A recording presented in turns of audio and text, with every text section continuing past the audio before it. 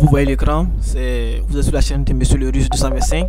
Et je vous avais dit déjà auparavant, voilà, et salut à vous, je vous avais déjà dit auparavant que euh, j'allais faire comme ça euh, une vidéo sur la bourse, sur une bourse du, du, Cégep, pour que au moins vous sachiez au moins comment ça se passe, pour que vous puissiez au moins postuler à cette bourse là. Voilà, donc comme vous voyez là, voilà, ça c'est l'un des cégep et c'est un cégep de Jonquière. Donc comme vous voyez ici, voilà, c'est dans la partie Québec.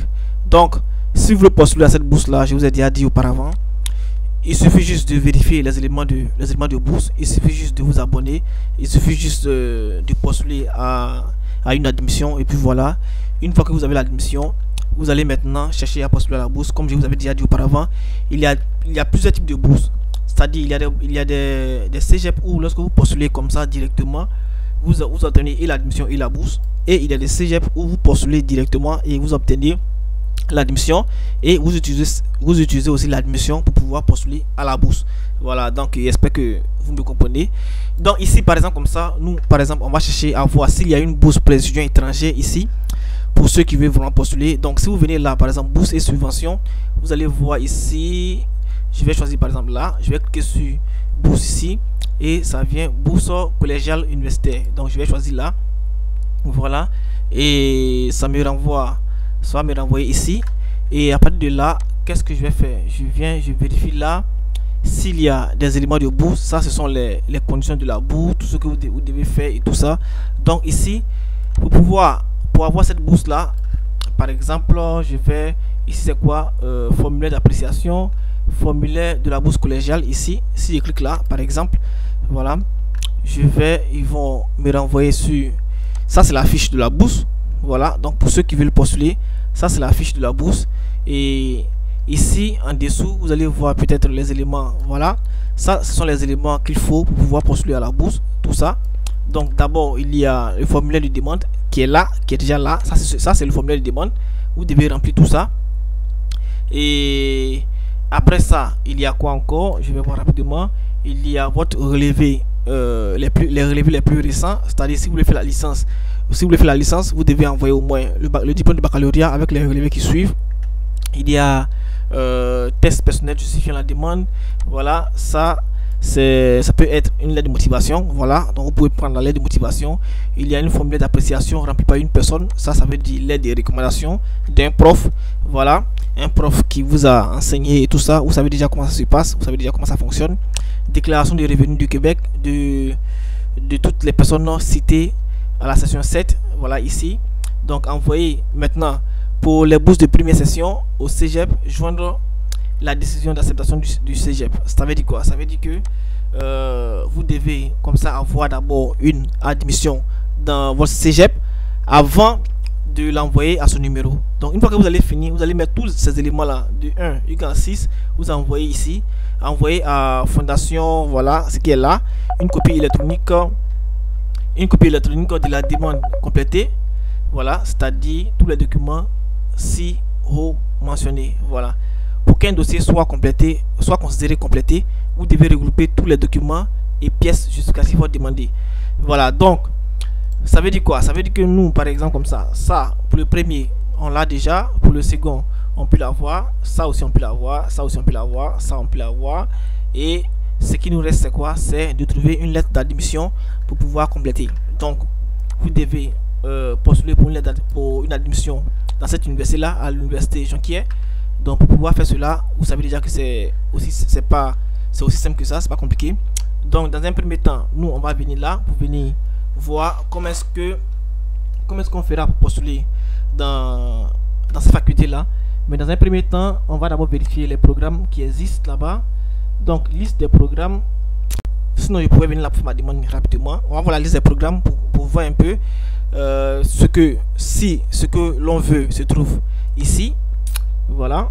Et ici, il y a aménagement urbanisme, A, lettres, communication.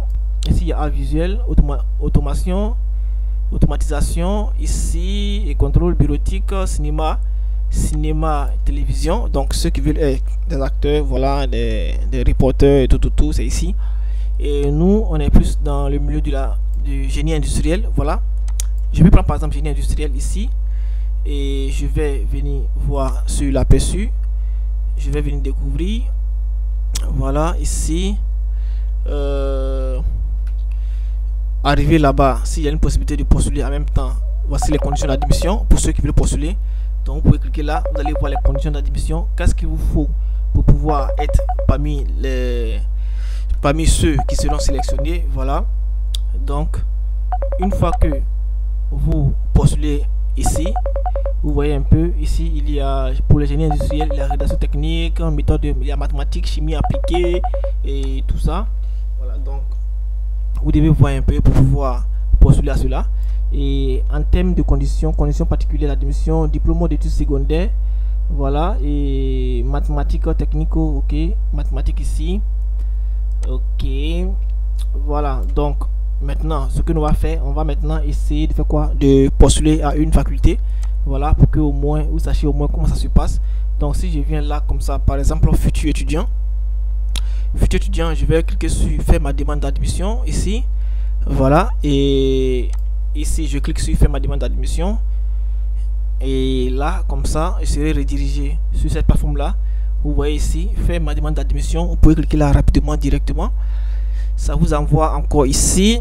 Et ici on vous donne les dates en ce qui concerne les, les sessions. C'est-à-dire pour ceux qui veulent étudier comme ça en janvier session d'hiver 2023 votre date limite c'est le 1er novembre. C'est-à-dire que vous avez au moins euh, au moins 13 jours ou bien 23 jours voilà.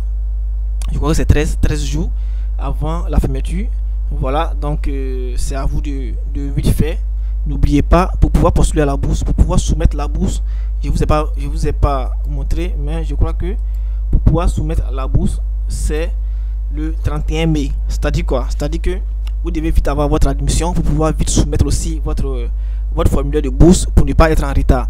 Donc ceux qui veulent étudier en janvier la date limite c'est le 1er novembre. Ceux qui veulent étudier comme ça en août ou bien en septembre la date limite pour c'est le 1er avril 2023 maintenant ceux qui sont en France en Belgique c'est le 1er mai 2023 voilà donc je rappelle encore voici ceux qui, veulent étudier en janvier voici pour vous là. Étudiants internationaux ceux qui veulent étudier comme ça en août pour vous, c'est le 1er avril 2023 pour pouvoir avoir une admission. Donc, c'est mieux de postuler maintenant. Vous allez vite avoir l'admission. Vous allez vite postuler aussi pour votre bourse pour que ça puisse vous aider au moins à pouvoir subvenir à vos besoins là-bas. Voilà, donc, une fois que on sait maintenant ce qu'on va choisir, on sait que notre faculté existe dans, le, euh, dans cette université-là, on sait qu'on peut postuler à une bourse aussi. Ce qu'on va faire maintenant, on va comme ça essayer d'aller postuler directement. Donc pour pouvoir postuler, vous venez dans demande en ligne, vous venez là, demande d'admission en ligne, ou bien vous venez là, étudiants internationaux. Un instant, je vais choisir en même temps étudiants internationaux pour qu'on puisse aller vite. Ici, demande en ligne, étudiants internationaux, voilà. Comme ça, on sait que nous sommes euh, directement sur le bon chemin, on sait comment ça va se passer, on sait que tout ce qu'ils vont nous demander va concerner les étudiants internationaux, alors on pourra mieux postuler. Ok, donc ici je viens là, programme préuniversitaire, secteur médical, technologie et puis industrie. Je vais choisir peut-être ici, voilà. Et à partir de cet instant là, je vais maintenant effectuer ma demande en ligne. Voilà. Donc vous pouvez vérifier tous les éléments qui sont là. Vérifiez bien les éléments qui sont là. Voilà. Lorsque vous allez choisir, choisir technique, technologie et industrie. Voici tous les éléments qui sont là. Donc je peux maintenant venir là, cliquer sur effectuer une demande d'admission en ligne. Donc, quand je clique là, on me renvoie directement sur la plateforme pour pouvoir postuler en ligne. Donc, étudiant international ou étudiant hors Québec. Donc, ça, c'est nous. Voilà. Donc, ça, c'est nous. On peut cliquer là. Ok. Donc, vous pouvez lire les éléments qui sont là. Ça veut dire quoi? Ça veut dire que pour compléter euh, votre demande d'admission, veuillez remplir les 13. Les 13 qui sont là. là. Voilà, veuillez remplir les 13 étapes de ce, formulaire, incluant le paiement des frais de dossier. Voici les frais de dossier qui sont là pour ceux qui ne veulent pas entendre parler de ça. Je vous ai déjà dit qu'il y a 99% des, des universités au Canada où il faut payer des frais, des de, de dossier. Donc voilà, ici c'est 85 dollars. C'est une fois, et suivez bien ici ce qui est écrit là. Voilà, pour ceux qui vont, qui essaient de se plaindre chaque fois. Ici, ils ont dit quoi? C'est ce n'est qu'une fois le paiement reçu que, nous, que vous pourriez que vous pourrez nous faire parvenir les documents nécessaires à l'analyse de de votre, dossier. Ça veut dire que tant que même, tant même que, eh, excusez-moi, ça veut dire que tant que vous ne soldez pas, vous ne pouvez même pas même, vous ne pouvez pas envoyer vos documents pour pouvoir, euh, pour pouvoir faire examiner. Vous comprenez? Donc c'est après paiement que vous pouvez maintenant envoyer vos documents pour que vous participez à, euh, à l'admission. Voilà, donc c'est un peu ça. Et si vous venez un peu là, vous allez voir les documents qu'il vous faut pour pouvoir postuler à... Euh, vous allez voir les documents qu'il faut pour pouvoir postuler à cette admission là. Le certificat de naissance, voilà.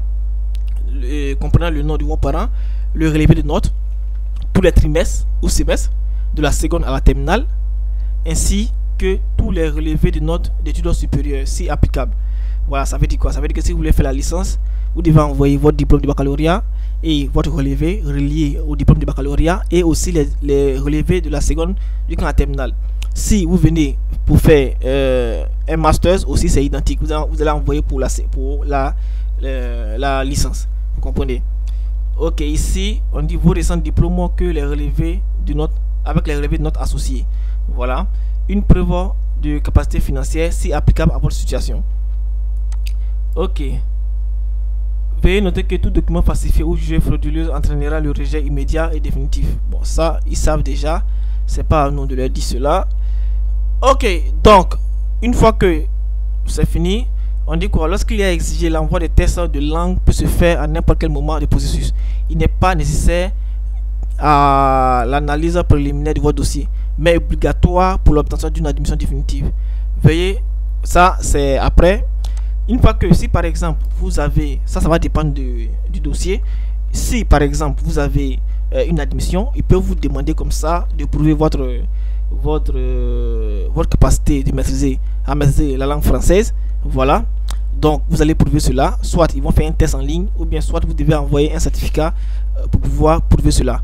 Voilà, donc une fois que vous êtes d'accord pour pouvoir faire tout cela, n'oubliez pas, vous allez remplir tous les 13 qui sont là.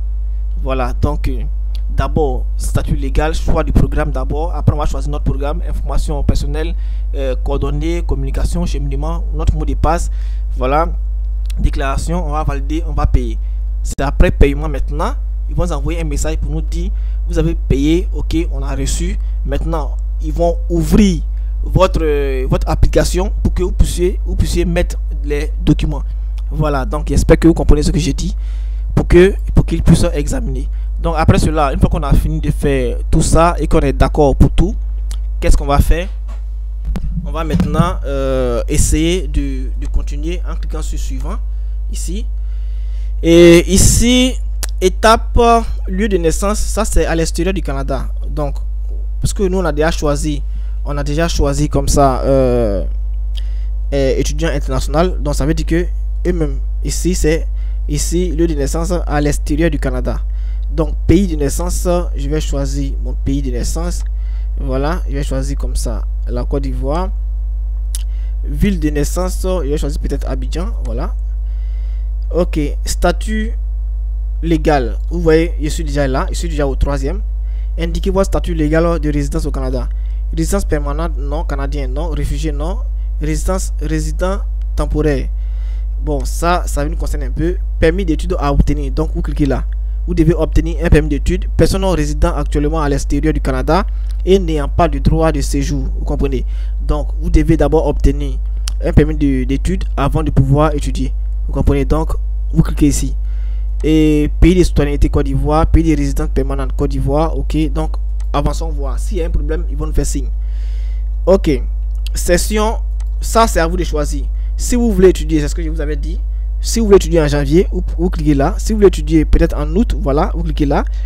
Euh, moi, je vous conseille vraiment d'étudier en août, de cliquer sur ici, parce que en janvier, pour pouvoir déjà pour pouvoir postuler euh, à cette université là, peut-être que vous allez avoir l'admission dans dans deux dans deux mois. Bon, je vais pas dire deux mois, mais au Canada maximum c'est six semaines. Six semaines, ça, ça peut faire maximum deux mois. Et en deux mois, vous allez avoir votre admission, vous allez postuler pour euh, un service CAQ. Après CAQ, vous allez postuler aussi pour un service euh, permis d'études. Et après cela, maintenant, vous allez maintenant aller chercher votre visa pour à l'ambassade. Vous comprenez?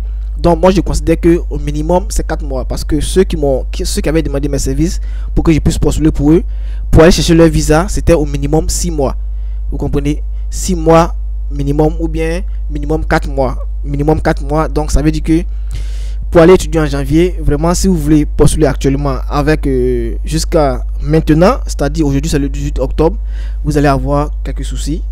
Voilà, ça peut venir vite Ici, la diminution peut sortir au peut-être euh, en deux mois. Si la diminution sort en deux mois, peut-être qu'en janvier, vous allez pouvoir faire vos cours. Vous comprenez? Voilà, pour ne pas faire des reports de cours et tout ça. Donc, moi, je vous conseille vraiment de choisir août pour ceux qui veulent aller étudier. Donc, ici, le cégep que moi je vais choisir, je vais choisir euh, ce cégep là. C'est là que je suis en train de postuler ici. Voilà, Jonquière. Donc, le programme que je vais choisir à Jonquière, je vais choisir peut-être. Euh, euh, informatique ou bien génie industriel. Voilà, génie industriel.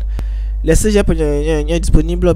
Si votre établissement d'enseignement a signé une entente, vous pouvez faire une demande dans le cadre entente de mobilité ici. Mobilité, réunion, aucune. Votre établissement doit être affiché dans le menu déroulant. S'il n'apparaît pas, cochez aucune. Voilà, aucune. Donc, suivant. Ok, donc pour ne pas que les éléments du, je vais essayer comme ça. Ici, veuillez prendre connaissance de directives. Ici, vous allez télécharger ce est là, là. Voilà, à télécharger, à compléter à votre dossier. Vous allez télécharger ça. Et ici, preuve récente des virements de fonds, une autorisation récente de transfert de fonds, une lettre de banque indiquant euh, le solde actuel de votre. Exemple ici, euh, il y a plusieurs éléments. Voilà, donc ceux qui veulent par exemple continuer, qui veulent vraiment qu'on les aide à postuler, vous pouvez nous contacter. Voilà, qu'on puisse s'occuper tranquillement de vous. Donc, comme je vous avais dit, vous allez remplir tout ce qui est là. De toutes les façons, je ne peux pas mettre tous les éléments parce que, parce que après, je dois payer, je dois pouvoir continuer. Mais au moins, vous savez déjà comment ça se passe. Donc, si vous avez des questions, vous pouvez laisser ces questions en commentaire. Je vais essayer de vous aider en répondant à ces questions-là. Voilà, donc les gars, n'oubliez pas, c'est très important pour ceux qui veulent postuler. Voilà, donc euh, je voulais vous rappeler aussi qu'il y a des il y a des cégep qui sont un peu moins chers. Donc si vous voulez vous voulez voir ces cégep là, vous, pouvez aller sur Google, vous allez les voir ou bien vous écrivez en commentaire pour que je puisse vous donner au moins des quelques noms et vous allez les postuler. OK, donc les gars, c'était moi le Sam Hospital et puis voilà. Surtout prenez soin de vous, n'oubliez pas et à plus les gars.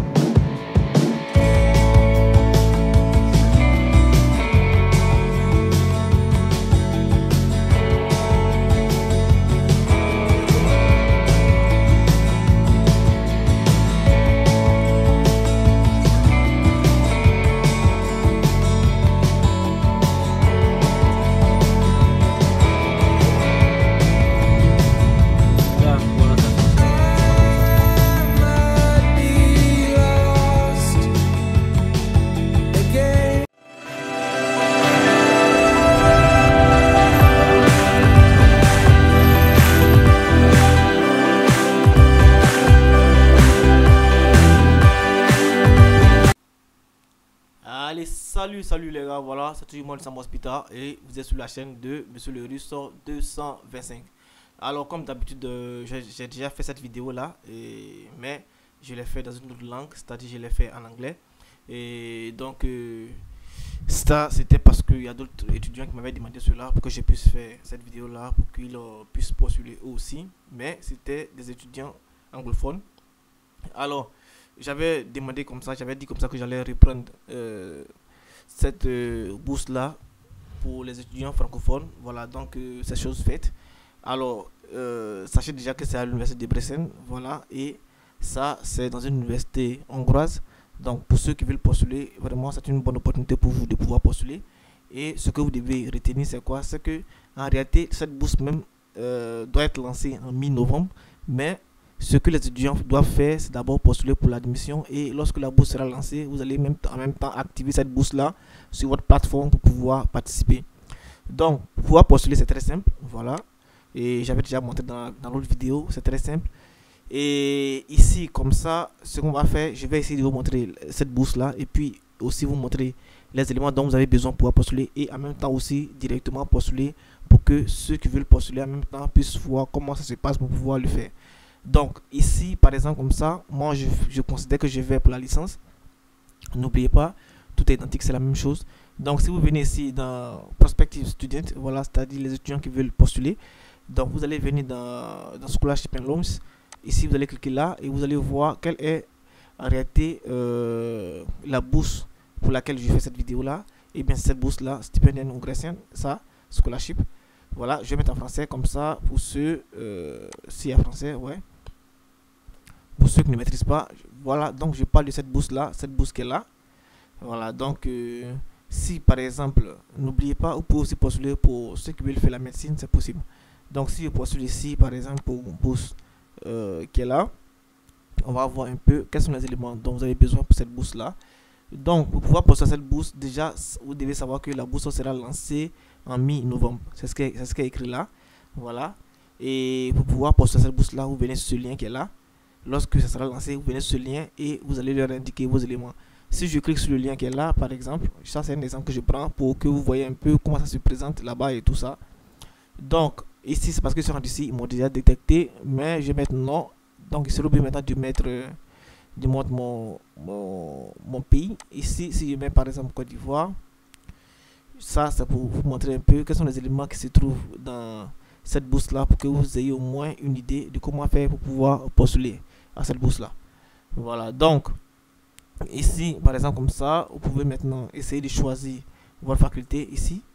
Voilà, et une fois que vous sélectionnez votre faculté, vous allez savoir un peu quels sont les documents dont vous avez besoin.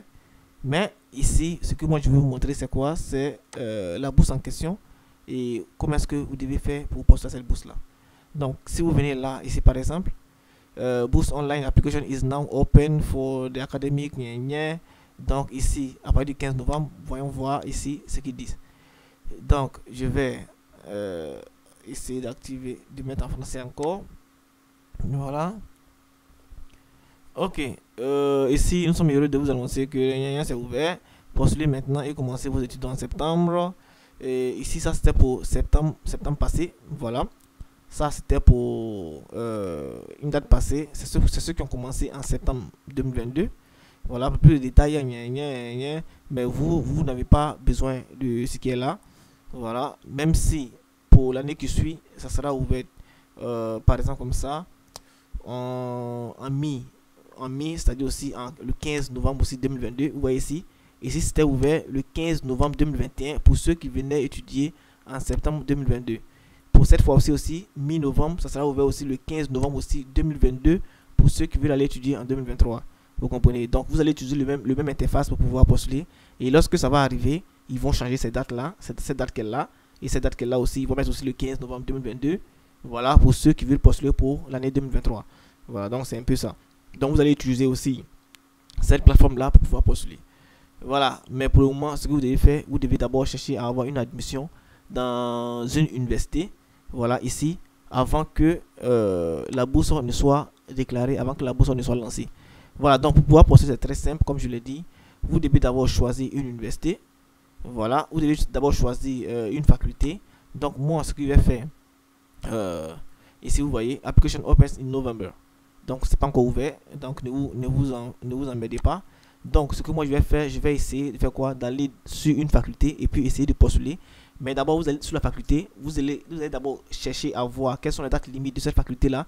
Parce que toutes les facultés n'ont pas les mêmes dates. Donc, si moi je viens, si moi je veux postuler par exemple, ceux qui postulent pour le master c'est là, pour ceux qui postulent pour euh, la licence c'est là, ceux qui font la médecine c'est là, c'est ici, et ceux qui veulent faire le doctorat aussi c'est là. Voilà, donc ça, ça va dépendre de vous. Et moi, je vais par exemple faire euh, la licence. Donc, moi, je viens ici, je clique, je clique là, et voici les éléments de licence qui sont déjà établis. Moi, je vais choisir et puis aller postuler à l'intérieur de cette faculté-là. Donc, si moi, je choisis par exemple de computer science ici, voilà, sciences, euh, informatiques ici, je vais cliquer sur euh, computer science. Ça me renvoie ici et ça me dit en même temps comment est-ce que je dois faire pour pouvoir faire quoi, pour pouvoir postuler. Donc, ici, par exemple, vous voyez, euh, le coût il est à 51% et la pratique 49%.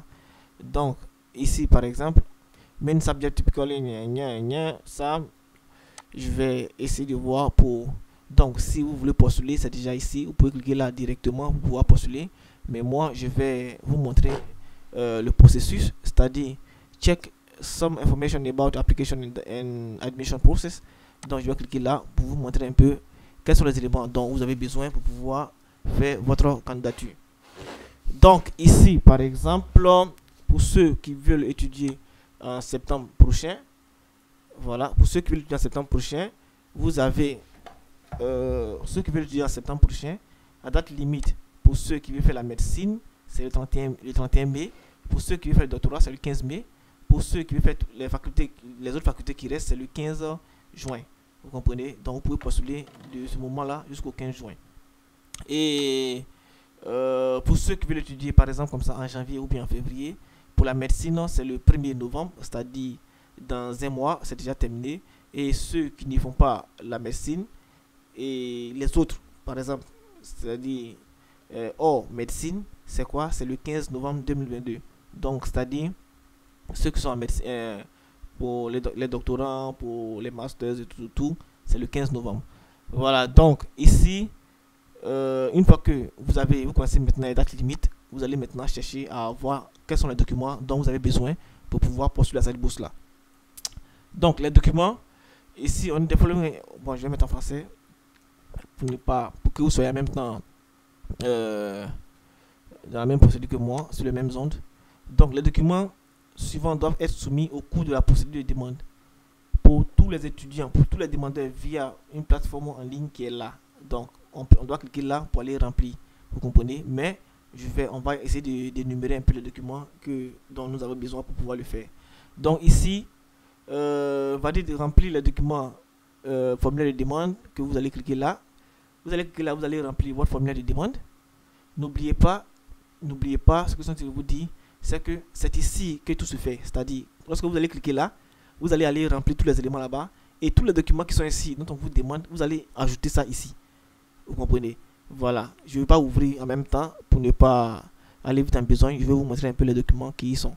Donc ici, il y a d'abord votre formulaire de demande. Vous allez télécharger ce formulaire là ou bien vous allez remplir en ligne. Voilà, ce formulaire de demande là, vous allez remplir tranquillement. Et vous allez compléter aussi, vous allez commencer à remplir. Ici, je vais vous montrer comment, comment ça se passe après. Donc ici, après ce formulaire, il y a quoi? Le certificat d'études, c'est-à-dire votre diplôme plus les relevés et tout, tout, tout. Voilà, vous devez les avoir. Et ici, le certificat de preuve de citoyenneté. Donc, votre passeport, ici. Euh, après cela, vous, allez, vous devez avoir un CV. Et après cela, vous, vous devez faire des tests, des tests, excusez-moi, vous avez des, tests dans les hôpitaux, voilà. Et pour pouvoir faire ces tests-là, pour, pouvoir, pour savoir quels sont les tests que vous devez faire, soit VIH ou hépatite B, tout ça, vous allez télécharger le fichier qui est là. C'est avec ce fichier-là que vous allez, euh, c'est avec ce fichier-là que vous allez à l'hôpital pour aller voir votre médecin.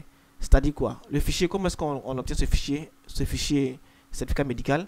Vous allez mettre votre pays. Si moi, par exemple, je peux mettre euh, Côte d'Ivoire, je mets Côte d'Ivoire. Ici, par exemple, je mets euh, Côte d'Ivoire. Et ici, par exemple, je choisis la faculté que je fais. Vous devez mettre autre faculté. La faculté de médecine avec les autres facultés, c'est très différent. Donc, si moi je vais faire mathématiques, je mets, je mets autre. Si je vais faire, euh, qu'on appelle ça, chimie, je vais faire par exemple physique et tout, tout, je mets, je clique ici. Mais si vous pensez que les éléments qui sont là, comme par exemple, parce que ces éléments-là sont différents des, des, autres éléments.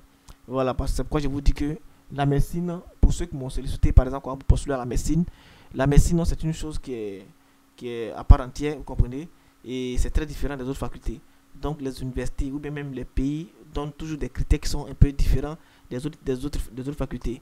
C'est pourquoi ici, vous voyez que c'est différent. Si vous cliquez là, ça sera différent d'ici, ça sera différent de là, ça sera différent de là, ça sera différent de là. Donc, tous les éléments qui sont, différents de, des autres éléments, vous comprenez? Donc, vous choisissez autre si vous faites autre chose, si vous voulez faire autre programme, ou bien autre faculté que les facultés qui sont là, vous choisissez autre. Donc, vous choisissez autre. Une fois que vous choisissez autre, voici maintenant votre, euh, euh, votre certificat médical que vous devez avoir. Donc, si je clique là, par exemple, comme ça, vous pouvez cliquer là. Et une fois que vous cliquez là, vous allez cliquer sur Download ici pour télécharger. Bon, je ne sais pas où ça va, ça va, ça va se trouver pour votre, pour votre, euh, votre application. Sinon, si vous cliquez là, ça fait Download. Vous pouvez télécharger directement dans votre, dans votre, dans votre PC et mettre sur une clé USB, aller télécharger, aller imprimer au cyber et aller avec pour euh, chez votre, par exemple comme ça, sur votre, chez votre médecin pour aller faire les tests. Donc les tests dont ils ont besoin, c'est quoi? Ça, tout ça, vous allez remplir tout ce qui est là, nom, prénom et tout, tout, tout. Voilà, vous allez remplir tous ces éléments qui sont là. Et les tests qui sont là, on a quoi? On a mobilite, on a pertussis, on a quoi? Poliomyélite, on a hépatite B. Donc vous devez faire tous ces tests-là. Et a un test encore en bas, voyons voir en dessous. Euh, voilà, syphilis aussi. Et puis voilà, ce que je vous disais, il y a aussi test de VIH que vous devez faire. Voilà, donc vous devez tout ça. Euh, lorsque vous allez faire, votre médecin, il sait comment il va remplir tous les éléments qui sont là. Voilà, et ici, n'oubliez pas, on dit de mettre les, euh, les tests que vous avez fait, les originaux, vous, devez les agrafer sur, sur, sur ce document-là pour pouvoir télécharger sur votre plateforme. Donc ici, le docteur, lui, va remplir tous les éléments qui sont là. Il va mettre la date, il va mettre son tampon, il va signer et puis c'est OK. Vous utilisez ce document-là aussi pour aller ajouter à vos documents que vous allez insérer ici. Voilà, donc après cela, il y a le reçu bancaire à propos du transfert des frais de, frais de demande. Bon, pour ceux qui ne veulent jamais voir les frais d'admission, pour ceux qui disent qu'ils n'ont pas les moyens et tout ça, je vous considère, je considère que vous n'allez pas postuler à cette bourse-là parce que ici, vous voyez qu'il y a 150 dollars de frais d'admission. Donc, ceux qui veulent postuler, il y a déjà 150 dollars de frais d'admission. Donc, euh, vous devez, lorsque vous allez payer, voilà, vous allez payer en ligne. Lorsque vous allez finir de payer, ou bien vous allez payer sous forme bancaire, vous prenez le reçu bancaire et vous ajoutez aussi, euh, vous ajoutez ce reçu-là pour pouvoir, vous, l'imprimez, c'est-à-dire vous scannez ce reçu-là et vous l'ajoutez pour pouvoir postuler à cette bourse-là. Voilà, donc c'est un peu ça ce que vous pouvez faire. Donc n'oubliez pas, il y a des cours qui sont en, comme ça, en langue hongroise et puis il y a des cours qui sont en anglais. Voilà, donc ça sera à vous maintenant de choisir quels sont les cours que vous voulez. Maintenant, si vous voulez un cours qui est en anglais, vous savez déjà que vous devez mettre, euh, euh, vous devez mettre comme ça, des, je vais dire, des certificats en anglais. Voilà. Et pour ceux qui font le master, il y a la plupart, des, la plupart des facultés qui sont en master sont en anglais. Donc, si vous voulez pouvoir postuler, je crois que ce sera mieux de traduire vos documents d'abord en anglais et d'avoir votre, euh, votre certificat en anglais. Ceux qui font la licence, vous avez la possibilité d'étudier en langue hongroise ou bien en anglais. Seulement qu'en langue hongroise, vous allez d'abord faire une année de langue hongroise et puis essayer de postuler pour pouvoir étudier en, langue hongroise. Voilà, donc une fois que vous avez tous ces éléments-là, qu'est-ce que vous allez faire maintenant? Les demandes, ici on dit les documents suivants doivent être soumis en cours de procédure pour les demandeurs via la plateforme qui est là. Donc, une fois que vous êtes maintenant prêt, qu'est-ce que vous allez faire? Soit je vais aller comme ça directement sur la plateforme c'est-à-dire, si je me retourne, je viens sur, par exemple, comme ça, ici, où j'avais choisi mathématiques, j'avais choisi computer science, ici. Je viens là directement pour postuler dans computer science, ici, apply here. Je peux cliquer là pour postuler directement dans la faculté que j'ai choisie. Vous comprenez? Voilà. Ou bien vous pouvez cliquer aussi vers le haut. Il y a aussi ici. Vous pouvez cliquer ici, postuler en ligne. Vous postuler aussi là. Donc moi, j'ai cliqué ici, je postule là directement. Donc ici, euh, je vais traduire encore, c'est pas possible. Ici, on voit, ici, c'est possible. Ok, donc, seulement pour les étudiants payant les frais, seulement pour les étudiants payant des frais, si vous souhaitez postuler à la bourse stipendien, veuillez cliquer ici. Vous comprenez? Veuillez noter que le portail de candidature SH n'est ouvert qu'entre la mi-novembre et la mi-janvier. Donc, vous comprenez un peu ce que je vous disais. Voilà, donc j'étudie actuellement en Ukraine et postule pour l'université de Ça, c'est pour les Ukrainiens qui ont déjà fui ou bien des étudiants, euh, étudiants étrangers qui étaient en Ukraine et qui veulent maintenant étudier là-bas. Donc, si vous couchez ça, ça veut dire que c'est comme ça. Ils vont changer la procédure de votre, votre application. Donc, ne couchez pas ce qui est là, continuez. Donc, ici, par exemple, si je choisis, euh, comment est-ce que vous avez retrouvé notre, notre bourse? Vous allez choisir, par exemple, sur YouTube. Voilà. Donc, euh, prochain, vous allez commencer maintenant à remplir les documents, tous les documents qui sont là. Programme d'études, programme d'études, renseignements personnels, coordonnées, école président, télécharger les documents, et puis résumé. Vous comprenez? Donc, vous allez faire tout cela un à un jusqu'à ce que vous finissiez. Alors, ici, par exemple, comme ça, pour le programme d'études, je vais choisir, j'avais choisi quoi? Mathématiques, je vais choisir encore ici mathématiques. Ok. Et le grade, je vais mettre par exemple comme ça. Euh, premier. Ok. Si vous prenez ici, premier, quatrième, quatrième, premier. Ok. Donc, le semestre, par exemple, je vais prendre 2022-2023, je vais prendre 2023-2024. Ok, donc ici, information supplémentaire, si vous voulez, vous ouvrez, vous complétez. Moi, je n'ai pas de, d'éléments supplémentaires, donc ce n'est pas un problème.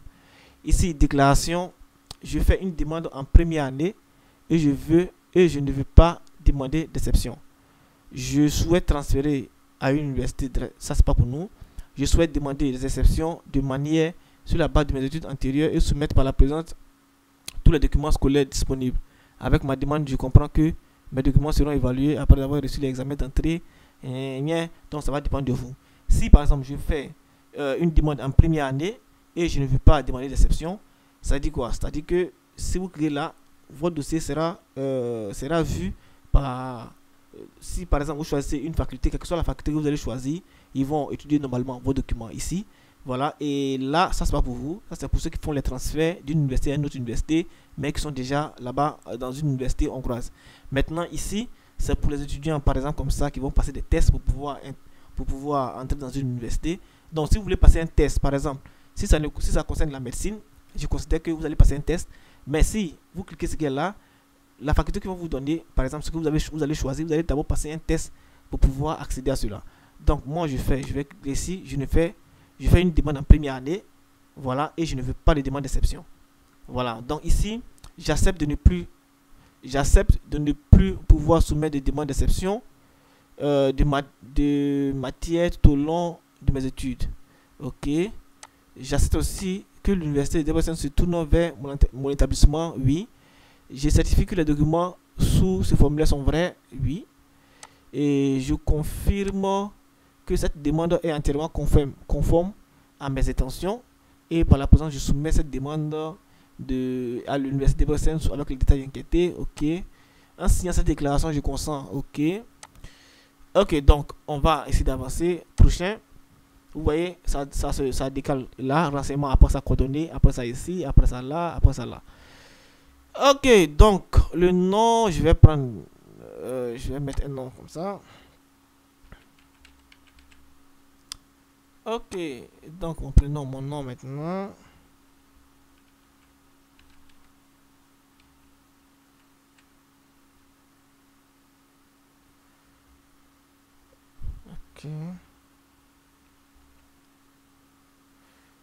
Ok. Donc nom d'affichage yellow violet.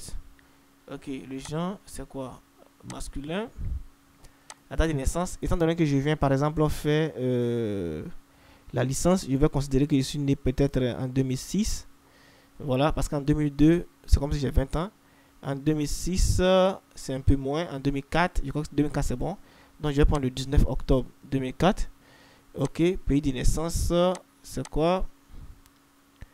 Côte d'Ivoire. Donc, je vais prendre Côte d'Ivoire ici.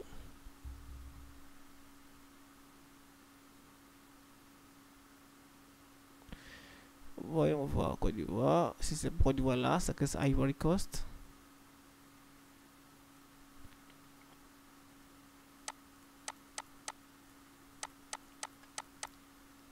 Ok. Après ça, euh, ville de naissance, je vais mettre comme ça Abidjan. Nationalité Côte d'Ivoire.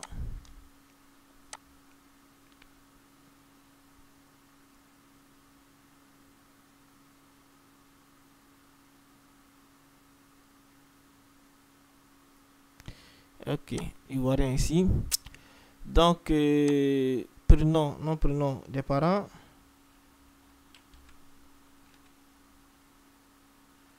Ok, nom de famille.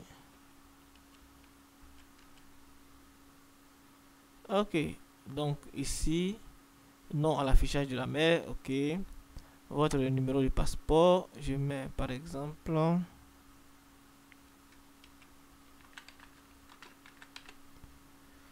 Ok. Et quand est-ce que votre passeport expire? Je vais prendre 2027.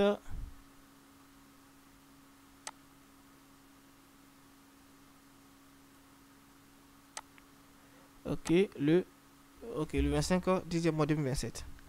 Votre votre niveau d'anglais, je vais mettre comme ça basique. Voilà. nom des niveaux d'anglais. Si vous avez obtenu, si vous avez obtenu euh, comme ça ici, si vous avez obtenu par exemple, vous voyez que ce n'est pas, ce n'est pas vraiment obligatoire. C'est obligatoire lorsque c'est en rouge. Ça veut dire que vous pouvez faire au moins une année de langue. Ça, c'est à votre souhait. Voilà, c'est pas obligatoire. Mais si vous avez eu, euh, par exemple, un certificat de langue, vous pouvez déjà l'insérer là. Vous pouvez insérer le nom de ce certificat-là ici. Voilà.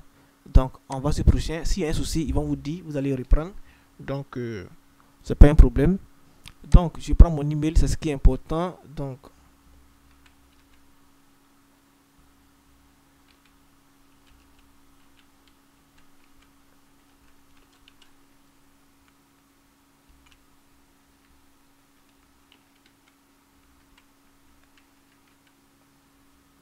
Ok.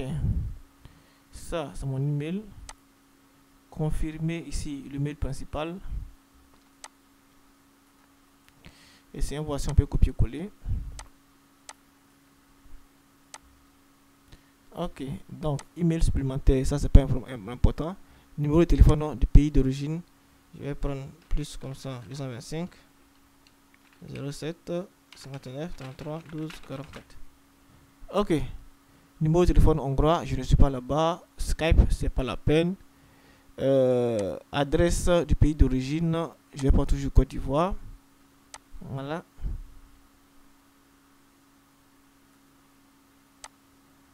Ok, donc ville Abidjan. Je vais choisir ici. Abidjan, code postal, je ne connais pas, donc je mets 00. Ici, adresse Abidjan. Ok, donc je peux avancer. Je répète encore, s'il y a un souci, ils vont vous indiquer cela pour que vous puissiez au moins euh, remettre. Ici, école précédente, je ne suis pas actuellement le propriétaire du certificat, dans les informations soumises, ça c'est pas vraiment important, ne mettez pas ça, ne prenez pas ça. Donc ici, type de diplôme, euh, ici, collège, ici, et niveau du diplôme, ici, si vous prenez là, c'est comme si vous avez eu peut-être la licence. Voilà, donc euh, c'est le, collège secondaire. Type de cours, euh, temps plein. Vous avez fait votre élément temps plein. Votre matricule là-bas, c'était quoi? HI, votre matricule. Vous devez savoir votre matricule. Le matricule se trouve sur votre bulletin ou bien sur votre diplôme. Donc, euh, si vous ne savez pas, essayez de regarder sur votre, sur votre bulletin, sur votre diplôme pour pouvoir voir le matricule du diplôme. Donc, je peux prendre comme ça. Je me rappelle très bien, pour moi, quand j'étais en 6 ou bien en 3 c'était euh, 04 004 820K. Oui, 820K. Voilà, là, ça c'était pour moi. Ok, donc euh, émis par, vous mettez le nom, par exemple, comme ça, de sur votre diplôme, il y a par exemple, pour la Côte d'Ivoire, il y a l'État de Côte d'Ivoire. Donc, vous pouvez mettre, euh, regardez bien sur votre diplôme là, vous allez voir, ils ont mis émis par, ils ont mis le nom de, euh, de la structure que vous a délivré votre diplôme. Voilà, donc moi je vais mettre euh, Côte d'Ivoire, ok. Donc, euh, date de délivrance de, votre diplôme, si vous avez votre diplôme cette année, vous mettez cette année, mais ce ne sera pas en octobre, ce sera peut-être, euh, vous l'avez eu en août, le 9 août. Regardez bien quand est-ce que vous avez eu votre diplôme, c'est tout. Donc, pays de l'école, c'est quoi? C'est en Côte d'Ivoire. S'il y a un souci, ils vont vous dire, vous allez corriger. Donc, euh, ne vous inquiétez pas pour ça. Donc, euh, c'est Côte d'Ivoire. Ok, donc, une fois que j'ai fini directement, je mets prochain. Et à partir de là, vous voyez, là, il y a là et il y a résumé. Donc, ajouter un nouveau document, sélectionner le type. Donc, ici, par exemple, certificat d'études secondaires, ce que j'avais mis là-bas. Et donc ici, type de document, je vais choisir certificat de diplôme, diplôme d'études secondaires parce que je viens faire la licence. Donc diplôme d'études secondaires, je choisis là et je mets mon diplôme ici. Voilà, je vais pas mettre de diplôme, je vais pas faire assez de montage aujourd'hui. Donc je mets mon diplôme là. Vous cliquez là, ça vous envoie dans votre dans votre euh, ça vous envoie directement sur votre plateforme et vous ajoutez le diplôme. Ok, après ça, vous venez là, passeport et carte d'identité. Vous prenez le passeport ou la carte d'identité. Ici, par exemple.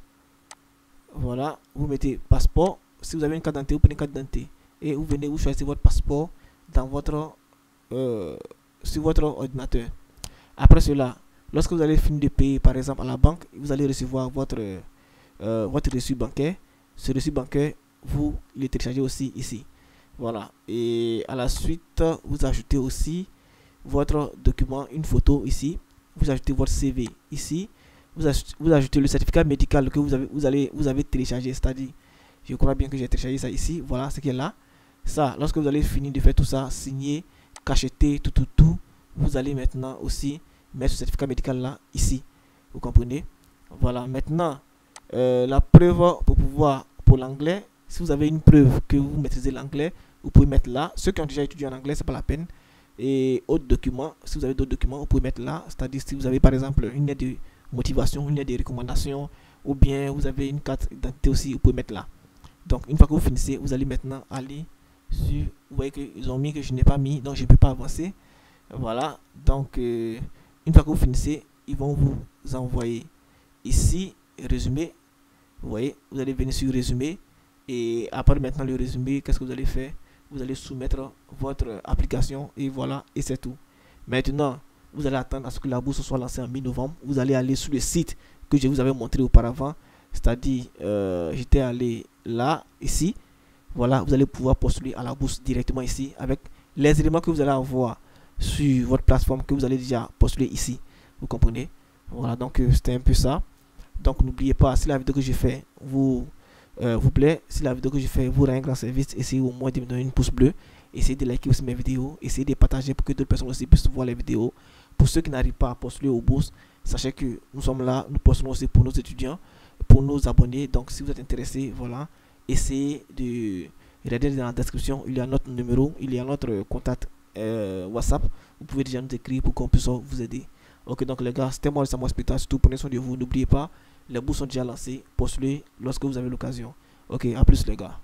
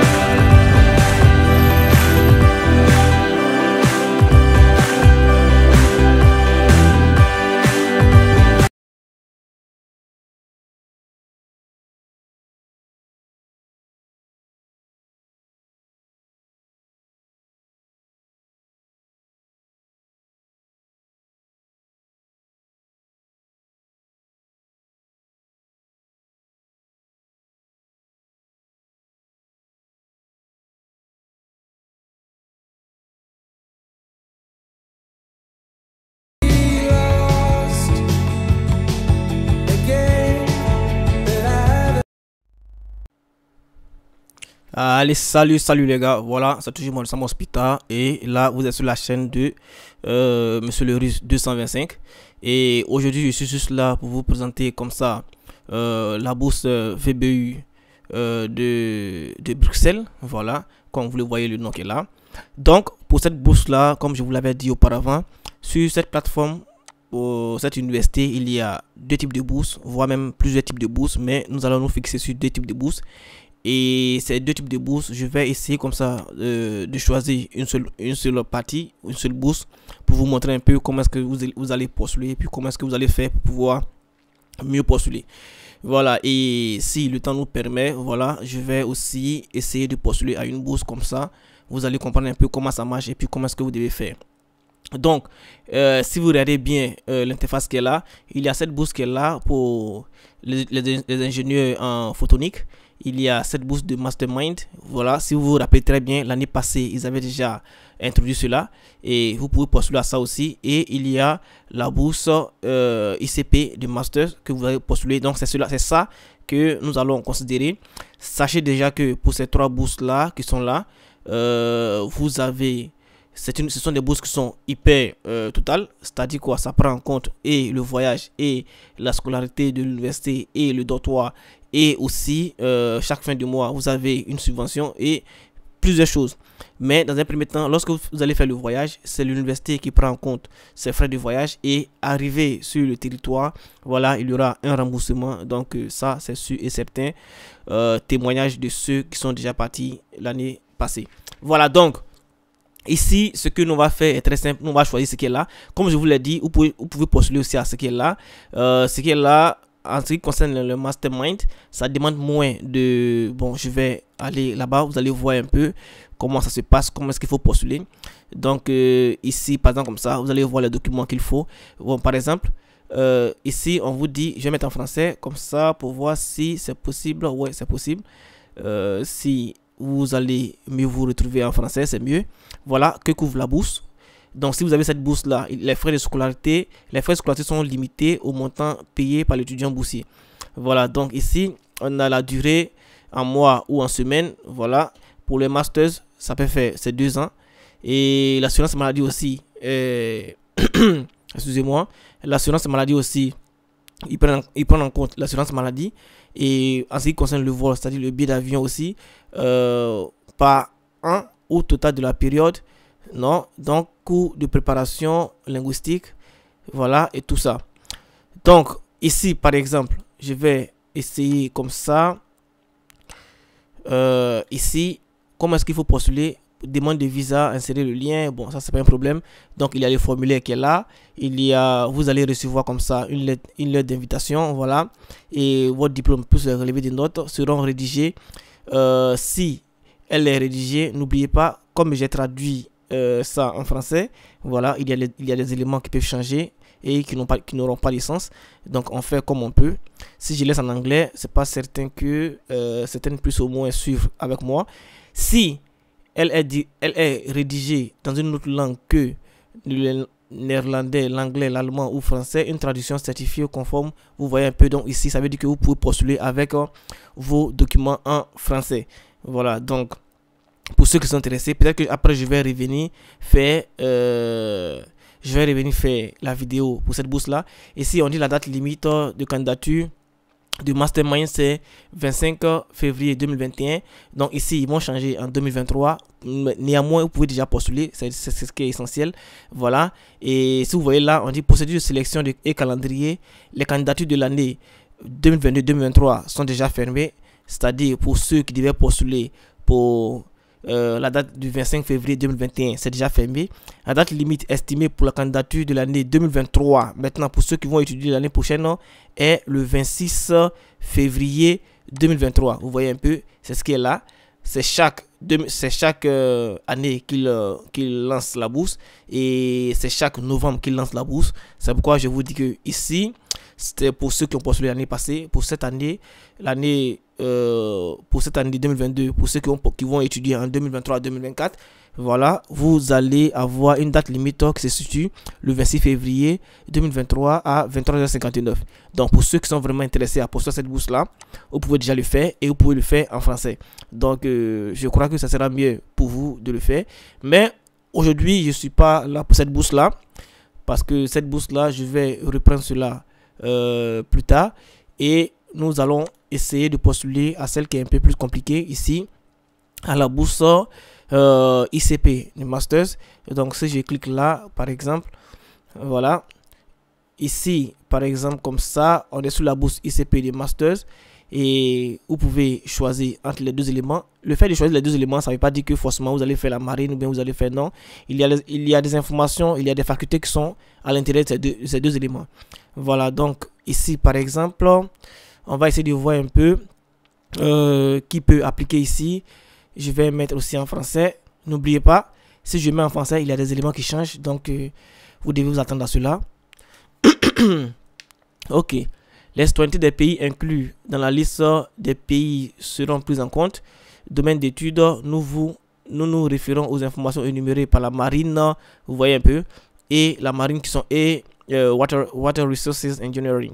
Donc, si vous cliquez sur l'un des éléments, vous allez voir les facultés qui sont à l'intérieur.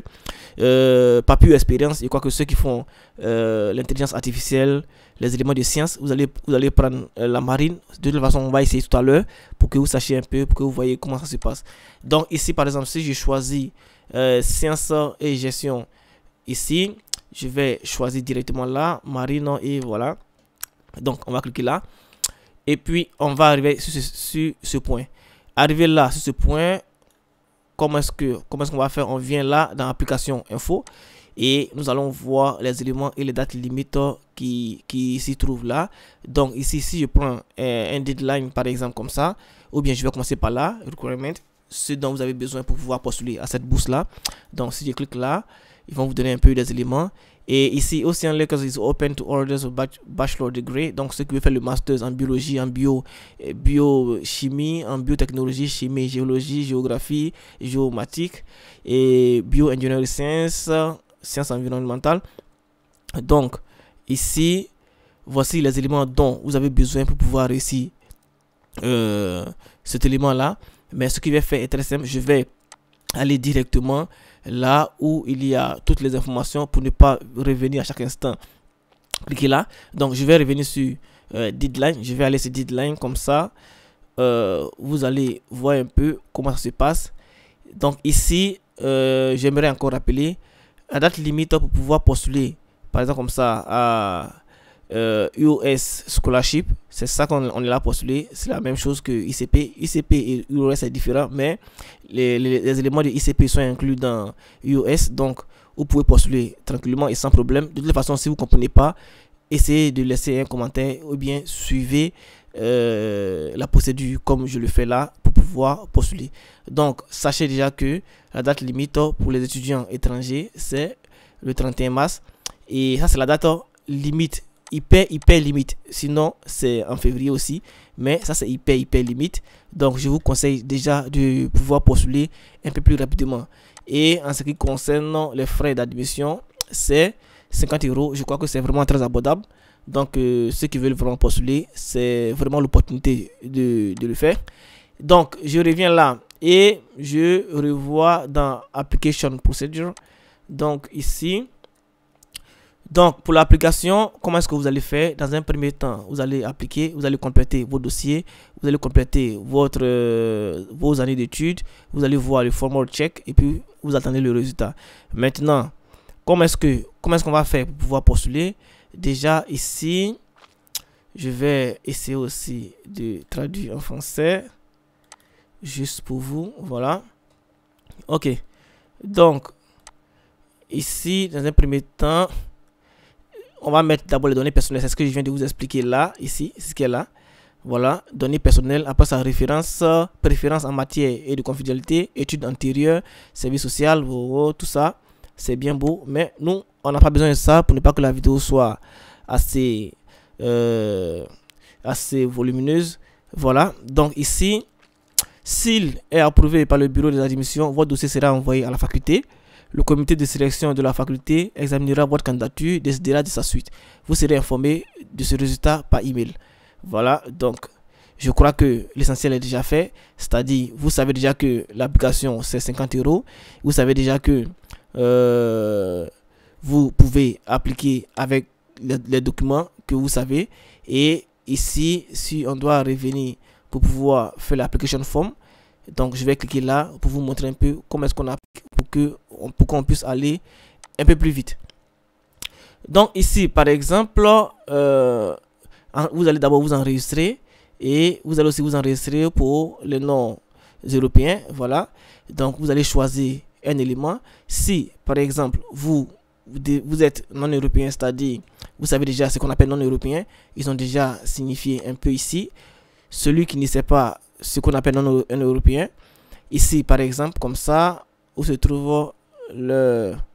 Je vais vous montrer un peu. Si vous êtes, par exemple, de... Je vais essayer de vous montrer comme ça. Vous allez voir ceux qui peuvent postuler et qui ne sont pas des Européens, je crois que ça se trouve ici en deadline, je crois. Oui. Je vais revenir là et puis vous montrer. Voilà, ici, si vous n'êtes pas européen, voilà, vous êtes un Européen si vous êtes dans ces pays suivants. Donc voici tous les pays. Si il se trouve que vous n'êtes pas dans ces pays-là, ça veut dire que vous n'êtes pas européen. Donc, vous, allez, vous êtes non européen. Et non européen, il y a une procédure pour tout le monde. Voilà. Si je clique euh, sur Application Form pour les non, européens, donc non européen, c'est ici. Non européen, comme vous le voyez là. Donc, je peux. Ah, voici les, mêmes éléments qui sont là. Donc, je clique sur Registration Procedure. Ok, donc, euh, je suis là pour les non européens. Voilà, dans les noms directement, je dois cliquer sur euh, Application, Start Online, mais on va voir les éléments qu'il faut pour les noms les non européens. Donc, si je clique sur l'élément qui est là, voilà, ici on a Bachelor Programme, on a Master's Programme. Donc, ceux qui veulent postuler peut-être en licence, voilà, vous pouvez déjà consulter ceux qui veulent postuler pour le Masters. Voici les éléments qui sont là. Mais je vous rappelle que la bourse concerne plus le Masters euh, et le doctorat que la licence. Voilà, donc ceux qui veulent postuler, c'est vraiment une bonne opportunité, mais essayez de comprendre cela. Donc ici, vous devez avoir par exemple votre passeport, une carte d'identité, excusez-moi, une carte d'identité ou bien un passeport, euh, une photo, et ici, vous devez, avoir votre diplôme plus le, ici, vous devez avoir aussi votre euh, relevé de notes traduit. Voilà. Donc, euh, et ici, vous regardez très bien. You need the original as well as certificate translation is the document are not in French, English. Donc, ça veut dire quoi? Ça veut dire que si vous avez vos documents, par exemple, comme ça, en français, en anglais ou en allemand, vous pouvez postuler facilement sans traduction. Il n'y a pas de problème. Vous comprenez? Maintenant, si vos documents sont en russe, alors vous allez prendre le document qui est en russe, vous allez traduire le document, vous comprenez? Et en plus de traduire le document, vous allez aussi ajouter l'original du document que vous avez traduit pour leur, pour leur envoyer cela. Voilà, donc c'est une bonne, une bonne bourse, comme je vous l'ai dit.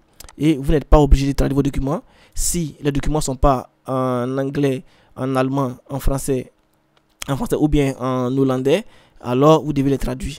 Voilà, sinon si ce sont les quatre langues, s'il y a, vous êtes parmi les quatre langues, alors c'est pas la peine de traduire un document que ce soit. Donc après cela, il y aura euh, les lettres de motivation, il y aura deux lettres de, de référence. Donc euh, en ce qui concerne les lettres de référence, vous devez comme ça contacter vos professeurs.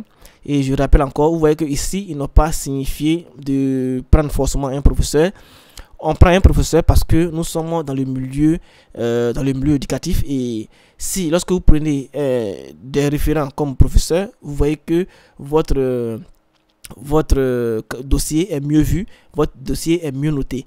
Voilà, c'est pourquoi à chaque instant, quand je fais la vidéo, je vous demande de prendre des éléments des professeurs qui sont déjà euh, des professeurs de lycée ou bien d'université.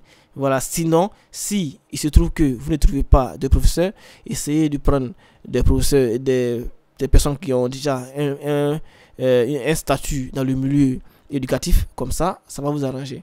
Voilà, donc, Chinese Citizen, ça, c'est pas la peine. Nous, on n'a pas besoin de ça. Donc, euh, ok, donc, pour ceux qui sont en PhD, ceux qui veulent faire du PhD, ceux qui veulent faire le doctorat, voici aussi les, les éléments qu'il faut. Voilà. Donc, euh, si vraiment, s'il y a des personnes qui veulent faire doctorat qui sont, et sont, qui sont vraiment intéressés parce que ils mettent un peu l'accent sur le doctorat que le master et la licence. Après le doctorat, c'est le master. Après le master, c'est la licence. Mais pour ici, ici, ICP, voilà, je crois, ICP, la bourse ICP, voilà, ils mettent l'accent sur, sur doctorat, après master, après ça. Maintenant, la bourse mastermind, vous savez déjà, vous comprenez déjà, c'est pour le master. Voilà. Et ici, par exemple, comme ça, une fois que c'est fini, qu'est-ce qu'on va faire? On va maintenant essayer de chercher à postuler. Et pour pouvoir postuler, comme je vous ai montré là, on va essayer de reculer un peu. On recule, c'est ici. Vous voyez un peu? Et ici, par exemple, il y a un élément que je voulais vous notifier cela. Il y a un élément que je voulais vous notifier cela. Ici, je vais traduire comme ça. On va essayer de voir ensemble. Ok. Ok, donc, euh, ici, nous nous occupons à examiner. Nous, nous commençons à examiner votre demande dès que vous avez correctement soumis votre demande avant la date limite tous les documents requis sont présents avant date limite. Nous avons reçu vos frais de demande. Les frais de demande, vous savez déjà que c'est de 50 dollars. Et l'administration étudiante s'occupera de la sélection académique de votre candidature ainsi que des, autres départements concernés. Ce processus peut prendre 10 semaines. Voilà, donc 10 semaines si on fait en 4-4, 2 mois, 2 semaines. Donc, 2 mois, 2 semaines, vous allez attendre un résultat et vous serez informé par email dès que dès qu'une décision aura été prise. Vous voulez vérifier votre statut pendant le processus de sélection. Connectez-vous, OK. Donc vous allez vous connecter là pour pouvoir vérifier vos éléments sur votre plateforme. Si votre demande est acceptée, vous recevez une lettre d'acceptation conditionnelle. Voilà, donc ici, après cela, après la lettre, vous pouvez utiliser ce document pour commencer la demande de visa. Le cas échéant, vous faites, faites-nous savoir auprès de quel ambassadeur ou consulat vous serez euh, vous demandez votre visa, demande de visa pour ceux qui veulent. Après ça, il y a aussi demande d'hébergement. Vous allez organiser votre hébergement. Mais ça, lorsque vous allez euh, postuler, que vous allez avoir, vous allez avoir comme ça une lettre d'admission. Déjà, euh, ceux, en tout cas ceux vraiment qui, veulent postuler à cette bourse-là, nous sommes là pour ça. Vous pouvez déjà nous contacter. Voilà, on va essayer de vous aider. On va vous suivre du début jusqu'à la fin. Et n'oubliez pas aussi de liker la vidéo.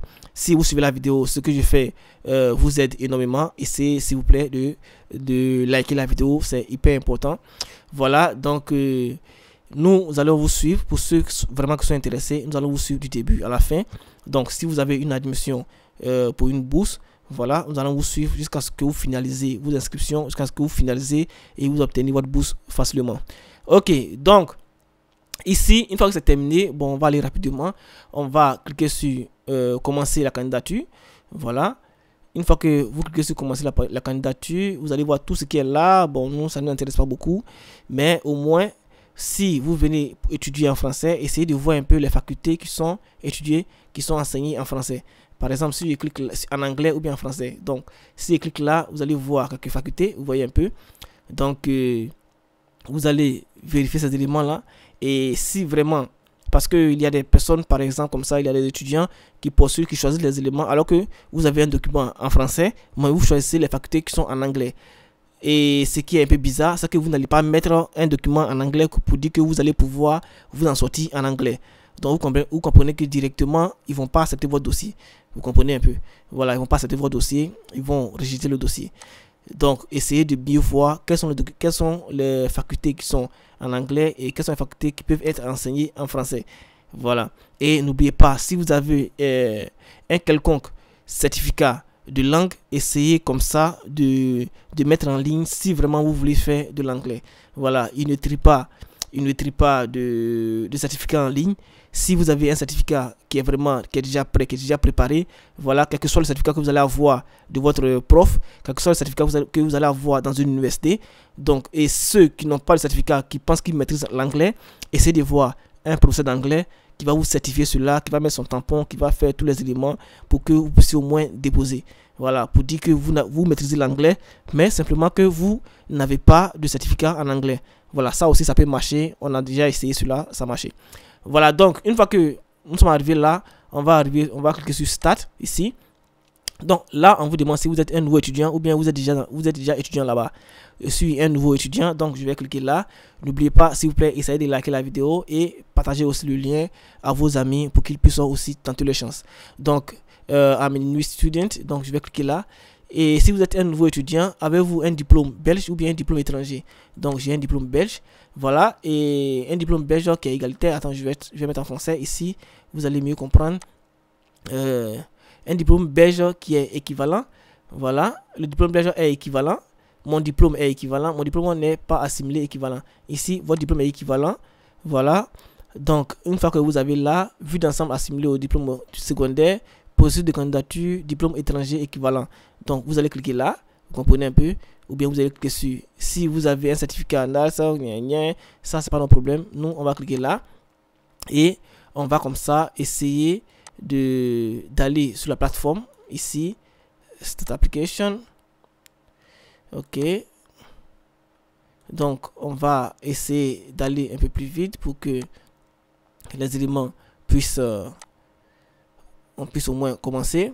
Donc ici, je vais déjà laisser en anglais, je crois, oui. En anglais, le lien, ok, c'est en anglais. Donc ici, euh, vous devez savoir que si vous travaillez avec euh, Internet Explorer, ça va pas ça va pas bien fonctionner. Donc, essayez d'utiliser Google Chrome ou bien Firefox, voilà, pour gérer votre application. Ceux qui ont déjà euh, un compte, ils savent déjà comment ça se passe. Ceux qui n'ont pas de compte, vous créez un nouveau compte ici. Voilà, create new account. Et à partir de là, maintenant, on va essayer de postuler un peu plus rapidement.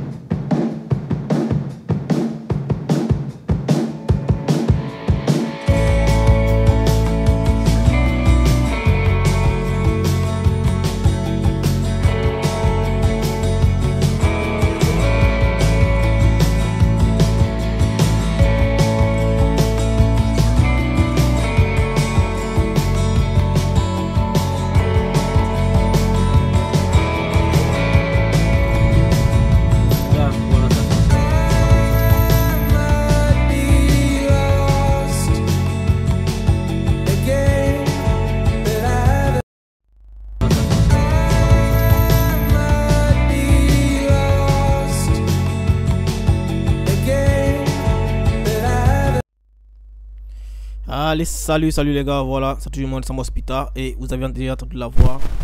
Vous êtes là sur la chaîne de Monsieur le Russe 225. Voilà, donc euh, aujourd'hui, je vais juste vous présenter euh, comment est-ce que ça se présente, les, les bourses en ce qui concerne euh, la loi du gouvernement canadien pour pouvoir donner des instructions aux étudiants étrangers qui veulent aller étudier là-bas au Canada.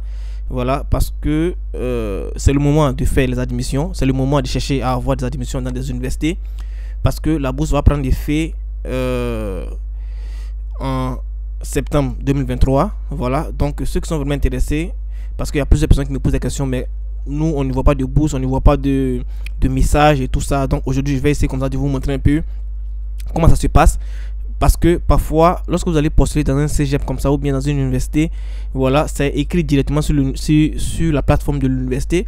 Donc euh, comme il y a plusieurs personnes qui ne retrouvent pas vraiment euh, ces éléments là alors aujourd'hui je vais essayer comme ça de vous montrer un peu comment ça se passe et puis euh, où est-ce que vous devez voir ces éléments et puis comment les postuler. Donc je vais faire une vidéo qui est assez brève. Voilà ici comme ça j'ai choisi le cégep et je vous recommande aussi ce cégep là parce que c'est vrai c'est un peu cher. Voilà, mais vous, vous n'êtes pas là pour savoir si c'est cher ou pas. Vous êtes là pour postuler à une admission et postuler à la bourse. Voilà, donc ici par exemple, c'est un cégep de quoi? De Tedford. Donc, euh, sachez déjà que je vous ai déjà dit dans les vidéos précédentes que les cégep francophones, il y a au moins 43 euh, ou bien au total il y a 48, mais il y a seulement que 5 cégep qui sont, qui sont anglophones. Vous comprenez un peu Donc, ça veut dire que le reste des cégep, c'est francophone. Alors, vous avez assez de chances de postuler dans ces cégep là.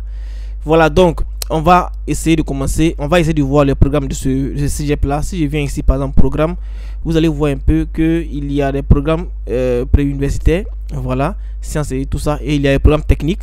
Vous voyez un peu pour ceux qui veulent faire vraiment de la maintenance, pour ceux qui veulent de la mécanique, l'électricité tout ça. Donc, vous pouvez déjà postuler ici. Et il y a aussi les tremplins de quoi? Du diplôme d'études collégiales. Voilà, ça aussi c'est très important. Pour ceux qui veulent postuler, c'est comme euh, un BTS par exemple comme ça. Voilà, mais ici vous pouvez postuler à ça ou bien ça peut représenter ça peut représenter comme ça euh, un titre de bac. Vous comprenez un peu pour aller à l'université. Vous voyez? Maintenant, euh, si par exemple vous avez vous voulez vous êtes en première ou bien vous voulez vous voulez postuler pour pour un 2C, par exemple en terminale au Canada, vous pouvez aussi utiliser ça. Ça peut être aussi un 2C en ce qui concerne le BTS. Vous comprenez un peu? Voilà, ça va dépendre de la faculté que vous, allez choisir. Donc ici, si par exemple, nous, ce qui nous intéresse, c'est quoi? C'est euh, de comme ça essayer de postuler en tant qu'étudiant étranger.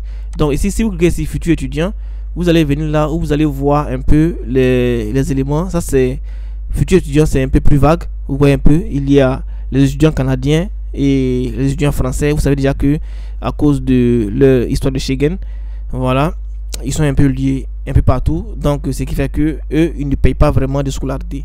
Voilà. Maintenant, ici, ils peuvent faire des prêts au, et bourse du gouvernement, mais vous, vous, c'est pas comme ça. Pour en ce qui concerne les étudiants étrangers, bien sûr, c'est pas comme ça.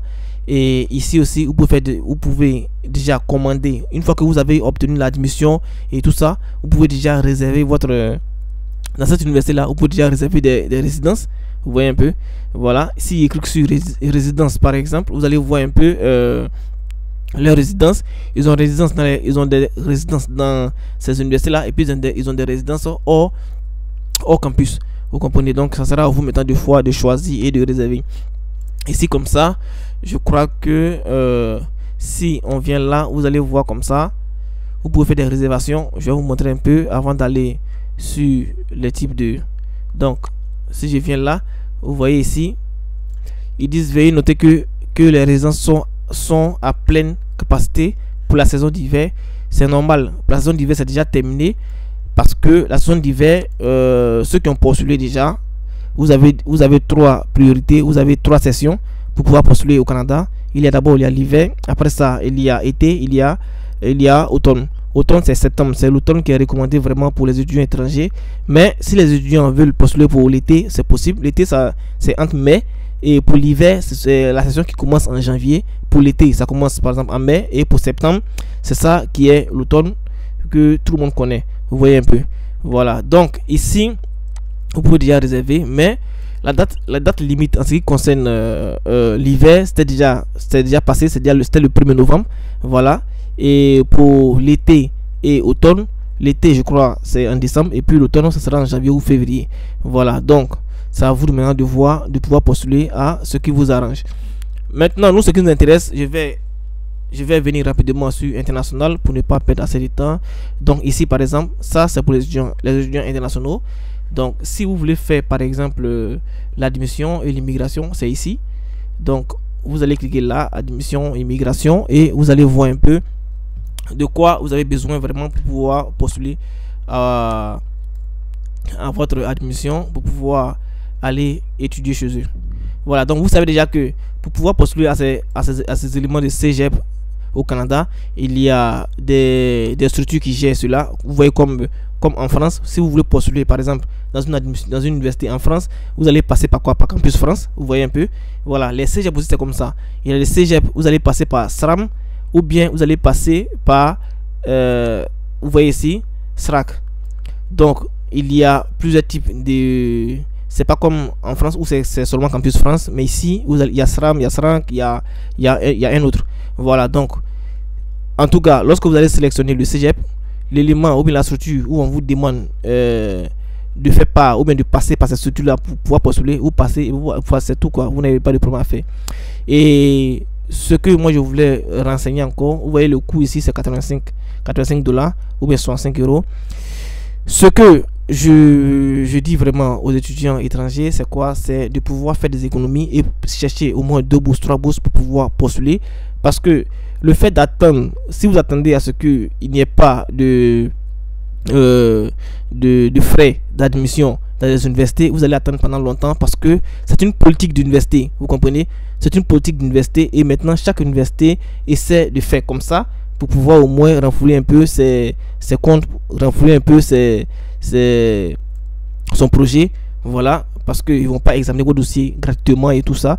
C'est vrai, peut-être que vous allez postuler et ne pas avoir la, euh, bourse ou bien l'admission, mais néanmoins, essayez, vous n'avez vraiment rien à perdre, donc essayez au moins de de, de faire des économies pour pouvoir postuler à ces bourses-là. C'est très important. Donc ici, par exemple, comme ça, donc si vous venez là, vous avez vu, vous pouvez faire votre demande via le SCRAC, le SRAX. Donc ici, par exemple, ne faites pas, si vous faites par exemple une demande déjà et que vous n'avez pas terminé, sachez que vous ne pouvez plus postuler euh, au CGEP parce que quelle que soit l'université que vous allez, vous allez choisir, vous allez changer ils vont vous demander, ils vont vous dire que vous avez déjà cherché à postuler dans une, dans une université cégep et que vous n'avez pas payé là-bas. Donc, si vous n'êtes pas sûr de vraiment avoir de l'argent, ne commencez pas. Parce que si vous commencez et que vous ne finissez pas, vous ne pouvez plus choisir une université cégep pour pouvoir postuler. Vous allez aller choisir des universités classiques. Parce que, quelle que soit l'université que vous allez prendre, ils vont vous rappeler que vous n'avez pas soldé ailleurs, quelque part, dans une université. Voilà, parce que ces cégep là, le SRAX, c'est vraiment euh, ils sont reliés entre eux. Vous comprenez un peu. Voilà, donc pour l'hiver, on avait dit que c'était déjà terminé. Donc ce qui est là, c'est l'automne. Donc l'automne, vous voyez ici, pour les admissions régulières, la date limite c'est le 15 février. Donc le conseil que moi je peux vous donner, soit vous postulez un peu plus rapidement, vous avez euh, votre admission un peu plus rapidement. Et ensuite, vous allez pouvoir chercher à réunir tous les documents pour aller faire votre dépôt de CAQ et de, et de permis d'études aussi rapidement. Voilà, ça va vraiment vous aider, croyez-moi. C'est pas pure expérience. Donc, ici, par exemple, si moi je vais faire le, la demande, je vais cliquer là et puis je vais aller faire la demande. Mais nous, c'est pas ce qui nous intéresse. Nous, on vient juste pour voir comment est-ce que comment est-ce qu'on va faire pour pouvoir avoir la bourse. Et il y a aussi, je voulais rappeler, voilà, il y a aussi euh, il y a aussi une demande ici. Lorsque vous postulez et que vous avez une admission, par exemple, comme ça, euh, la plupart des universités vous demandent d'avoir euh, des tests de langue, de langue anglaise, de langue française plutôt. Donc, excusez-moi. Donc, pour ça, c'est pas vraiment un problème. Une fois que vous postulez, que quand vous demande cela, sachez déjà que l'université elle-même peut faire comme ça euh, des tests à la fin. Lorsque vous avez postulé et que vous êtes admis, vous avez votre CAQ, votre permis d'études, l'université va programmer un temps euh, un temps avec lequel vous allez, vous allez faire le, test soit en ligne. Voilà. Vous allez faire avec eux le test en ligne. Et si vous passez votre test, c'est juste des éléments de base pour savoir vraiment si vous maîtrisez la, langue française, pour voir un peu la véracité et tout ça. Donc, si vous passez le test, directement, ils vont inclure, ils vont essayer d'inclure comme ça votre certificat avec votre, euh, votre admission et vous allez aller étudier euh, rapidement et sans problème. Voilà, donc là, ce n'est pas vraiment un souci. Maintenant, ceux qui ont déjà les tests qui sont ailleurs, qui ont déjà reçu des tests, si je clique là, vous allez voir peut-être les types de tests que vous devez avoir. Ceux qui ont déjà eu ça, voilà, vous pouvez déjà euh, chercher à compléter avec vos, vos documents et puis voilà, c'est tout. Lorsque vous allez avoir une admission comme ça, eux-mêmes, ils vont vous dire, le test va se dérouler tel jour et tel jour et tel jour. Vous allez prendre cela pour aller, euh, pour aller postuler. Maintenant, ceux qui ne doivent pas ceux qui ne doivent pas, qui n'ont pas besoin de tests, c'est ceux-là, les candidats ayant étudié dans un, établissement secondaire au Québec, les candidats ayant complété des études dans un établissement francophone au Québec, et candidats ayant étudié en France, en Belgique ou bien en Monaco. Candidat ayant étudié dans un lycée français, par exemple, comme ça, si vous êtes en Côte d'Ivoire et que vous avez étudié dans un lycée français, et si vous cliquez là, vous allez voir les lycées français qui sont vraiment reconnus. Voilà. Donc, euh, vous allez voir les lycées français qui sont reconnus, et c'est en ce moment-là que vous allez savoir s'ils vont vous demander de faire quoi? De, de faire encore un test ou pas? Voilà, donc ici, vous pouvez voir les lycées qui sont vraiment euh, recommandés. Si moi, je, si moi je clique sur Côte d'Ivoire, par exemple, le lycée français qui est là-bas, qui est le lycée français qui est là-bas et qui est vraiment recommandé. Je vais essayer Côte d'Ivoire, Abidjan, le nom de l'établissement. Vous mettez le nom de votre établissement ici. Et ici, c'est possible. Ils vont vous dire, OK, euh, c'est possible. Voici les universités qui sont vraiment reconnues, qui n'ont pas besoin de la langue française pour pouvoir faire quoi? Pour pouvoir euh, postuler. Voilà, vous n'avez pas besoin de passer un test. Voilà, c'est un peu ça. Donc, nous, c'est pas ça qui nous intéresse. Nous, on va revenir à notre, à notre bourse. C'est ce qui nous intéresse. Voilà. Donc, pour l'admission, je vous ai déjà montré comment ça se passe pour l'admission. Donc, maintenant, on va, une fois que vous finissez de faire l'admission et tout ça, on va maintenant revenir sur le thème de bourse et puis les coûts. Donc, ici, par exemple, si je clique là, en ce qui concerne euh, le coût des études, si je viens là, par exemple, vous allez voir combien est-ce que paye un étudiant étranger là-bas. Et ce sont, les, ce sont des sommes qui sont assez colossales. Et moi, je, je ne vous conseille pas cela. Voilà, il y a des bourses qui sont vraiment qui existent. Pour ceux qui ne croient pas à ce que des bourses existent, ça, ça n'engage que. Je vous dis et je le répète, nous avons l'expérience dans ça, dans ça parce que nous aidons assez d'étudiants à postuler dans ces universités-là. Et il y, a des, il y a vraiment des bourses qui existent. Donc, ceux qui sont vraiment intéressés et que vous voyez que vous pensez que vous ne pouvez pas postuler vous-même, vous pouvez déjà nous contacter inbox, on va essayer de vous aider. Voilà, donc ici par exemple comme ça, si je viens là, pour les étudiants internationaux comme ça, vous avez vu un peu l'escolarité ici, et 6796 dollars. Voilà. Et pour les parties techniques, c'est un peu plus élevé. Il y a les 8000, il y a, il y a 8000 par session. Regardez très bien, c'est par session. Et l'année, ça fait 17 600 dollars. Vous comprenez un peu? C'est assez cher. Si je dois chercher à voir un peu combien ça fait, 17 600 dollars en, en francs CFA. Je vais comme ça essayer. Dollars en francs CFA. Donc ici, je vais mettre dollars en francs CFA. Vous voyez un peu. Donc ici, je vais mettre... Euh, ok, ici, je vais mettre dollars dollars canadiens. Ici.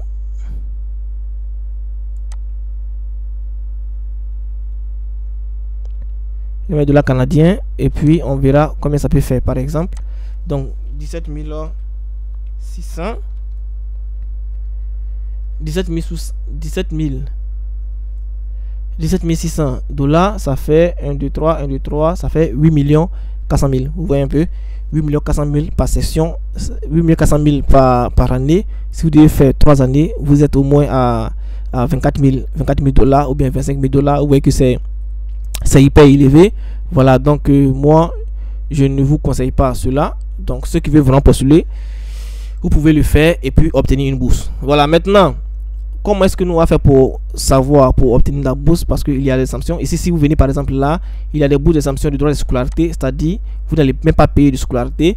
Et il y a des bourses aussi d'excellence, c'est-à-dire quoi? Ils vont examiner votre dossier. Et si vous avez euh, un bon dossier, la qualité de votre dossier est, hyper élevée, il peut vous dire, euh, voilà, vous ne payez pas de scolarité, vous venez juste étudier chez nous. Donc ici, par exemple, comme ça, euh, je vais cliquer là, aide financière, et on va voir un peu les éléments de bourse que vous pouvez avoir. Donc ici, si je prends ici, les étudiants, comme je vous avais dit, les étudiants français, eux, ils ne payent rien. Donc nous, on ne se fixe pas sur ce point-là. Ici, par exemple, exemption du droit de scolarité. Si je clique là, ce programme permet à des étudiants internationaux inscrits à une formation technique menant à un diplôme d'études collégiales d'être exemptés de droit de scolarité supplémentaire exigible. Pour soumettre votre candidature, vous devez être admis ou inscrit dans un, dans un cégep. Et le répondant du cégep qui vous fournira le, formulaire de candidature. Vous voyez un peu. Et en plus de cela encore, une fois que vous êtes admis, c'est en ce moment-là qu'ils vont vous envoyer un élément de candidature pour vous dire, ok, voici les bourses qui sont disponibles. Alors, vous pouvez choisir et puis vous allez postuler. Vous comprenez un peu. Et en savoir plus sur le programme d'études, sur le programme de sanctions du droit de scolarité, je vais essayer de vous montrer un peu quelques éléments. Donc ici, par exemple, comme ça, ici, pour 2022-2023, c'est déjà terminé. Donc actuellement, ils vont lancer maintenant 2023-2024. Donc une fois que vous postulez, que vous avez une admission, vous allez voir, ce sont les CGEP qui transmettent la candidature de fédération de CGEP. Veuillez communiquer rapidement avec les référents de votre CGEP pour connaître les critères de sélection du programme. Pour, pour consulter les normes du programme de sanction de droits de scolarité supplémentaires exigibles des étudiants étrangers au niveau collégial, cliquez ici. Maintenant, ce que moi je vais faire, je vais comme ça Ici, on dit un nombre, limité d'exemptions étant offert, ce ne sont donc pas tous les candidats éligibles qui pourront en bénéficier. Ça, c'est ce qui est normal. À titre d'étudiant international, vous pourrez bénéficier d'une aide financière grâce au programme de, de droits de scolarité supplémentaire pour étudiants internationaux. Ça, pour être admissible à ce programme, vous devez remplir les critères d'admission ci-dessous, soumettre euh, une candidature en bonne et due forme. Donc ici par exemple, si je choisis ici, je vais on va essayer de voir ensemble pour que au moins vous sachiez, vous sachiez que ces éléments-là existent, pour que vous puissiez au moins chercher à les postuler. Parce que c'est très important et je suis certain que vous pouvez les postuler et les avoir parce que nous les, nous les faisons chaque instant.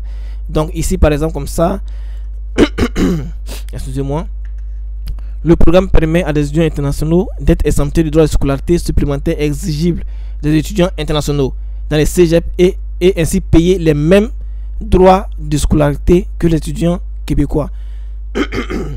vous comprenez? Et ça, c'est ce que je vous disais, ça, c'est la loi de, du gouvernement québécois, c'est la loi du gouvernement canadien. Vous comprenez un peu? Pour pouvoir avoir assez d'étudiants étrangers. Vous comprenez un peu? Et, et, regardez ici, objectif. Quel est l'objectif de ça? Le programme des exemptions de droits de scolarité supplémentaires exigibles des étudiants internationaux au niveau collégial a pour objectif excusez-moi, ici un peu. Donc ici a pour objectif d'augmenter le nombre d'étudiants internationaux inscrits dans un, dans un programme technique en vue d'y obtenir un diplôme collégial technique. Ce programme représente également un moyen de soutenir l'internationalisation des établissements d'enseignement collégial québécois. Vous comprenez un peu? Donc c'est un programme qui a été mis en place pour avoir assez d'étudiants internationaux. Seulement vous devez euh, aller de façon légale, vous devez postuler normalement pour pouvoir, excusez-moi, pour pouvoir avoir ces bourses-là. Voilà, donc c'est à vous de voir. Sincèrement, comme je le dis, pour ceux qui sont vraiment intéressés, nous, nous suivons des dossiers, nous suivons des candidatures. Donc, vous pouvez nous contacter inbox. Il y a notre lien, notre, notre numéro WhatsApp là-bas. Et surtout, je voulais, surtout ce que je voulais vous demander, essayez de vous abonner à la chaîne YouTube. C'est très important pour nous. Et puis, essayez aussi de nous soutenir en intégrant notre groupe WhatsApp. Voilà, donc vous pouvez lire tout ça, tout ce qui est là. Et il y a un point que je vais souligner pour que vous sachiez un peu de quoi il s'agit. Pour pouvoir être admissible à cette bourse-là, regardez très bien ce qui est ici. Pour être admissible au programme, le candidat doit tout d'abord vérifier les critères de sélection déterminés par l'organisme. Pour être admissible et à bénéficier de l'exemption, le candidat doit remplir les conditions suivantes. Être admis ou inscrit à temps, complet dans un programme de formation technique en vue d'obtenir un DSC technique et tout, tout, tout. Voilà. Donc, ici, par exemple, comme ça, vous devez avoir une admission d'abord. Ne pas être citoyen canadien, donc vous devez être un citoyen étranger. Être détenteur d'un certificat d'acceptation de, de Québec CAQ pour études émis par le ministère de l'immigration, de la francisation et de l'intégration au Québec, MIFI, donc d'un permis d'études ayant, d'un permis d'études émis par immigration, réfugiés, ça c'est IRCC, pour pouvoir avoir un CAQ, c'est sur la plateforme de IRCC que nous faisons tout ça, voilà. Et une fois que vous avez fini ici, s'engager à réussir le programme auquel il est inscrit, ok. Et ici, regardez très bien ce qui est là, c'est ce qui est plus important pour moi, ce que je suis de vous montrer?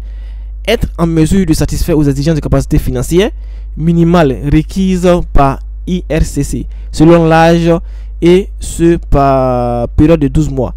Cette exigence d'IRCC pouvant être mise à jour, il parvient à l'étudiant de vérifier cette clause lors du dépôt de son dossier.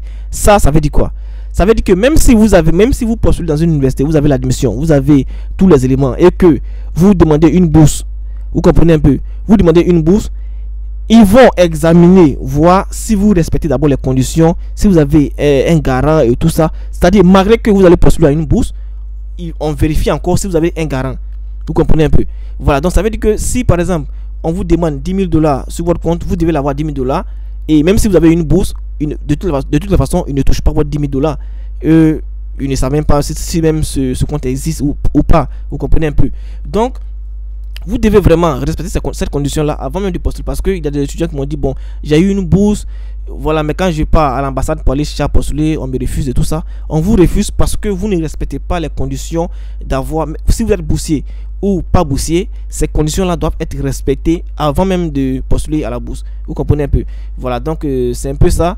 Essayez vraiment de d'avoir ces éléments, c'est un peu primordial. Et puis essayez aussi de postuler à la bourse.